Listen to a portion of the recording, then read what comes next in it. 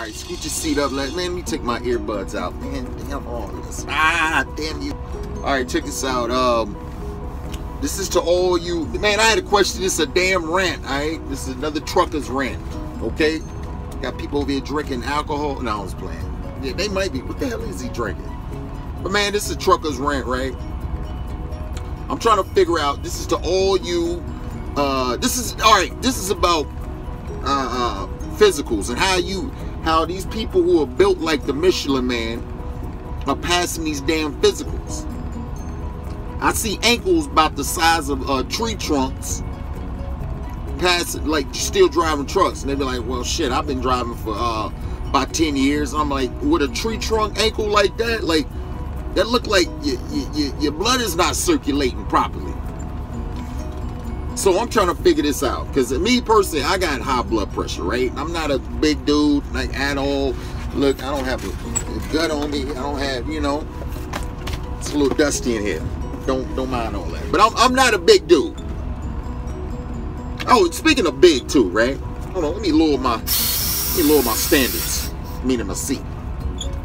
Uh, speaking of big dudes, right? You got uh because for me, if it's hard for me to get in and out of my truck, right?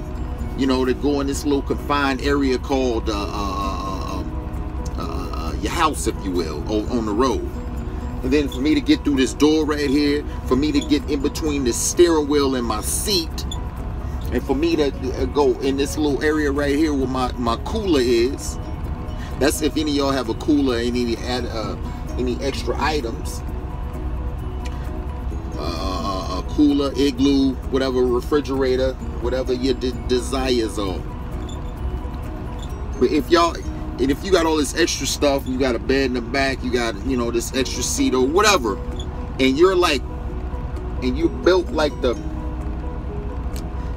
you built like a Burger King sign, how are y'all passing these physicals? I'm trying to figure all this stuff out. You tell me, right?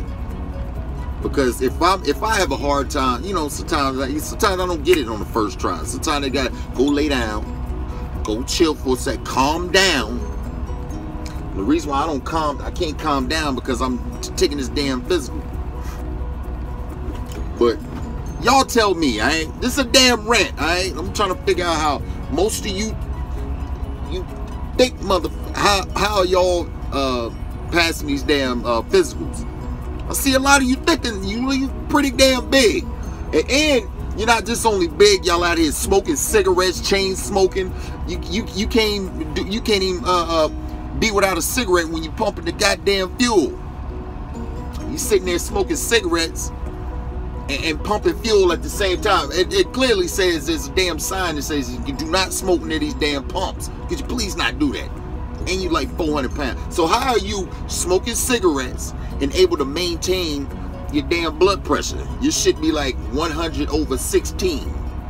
Whereas me, I don't do none of all none of that shit, and I'm still like,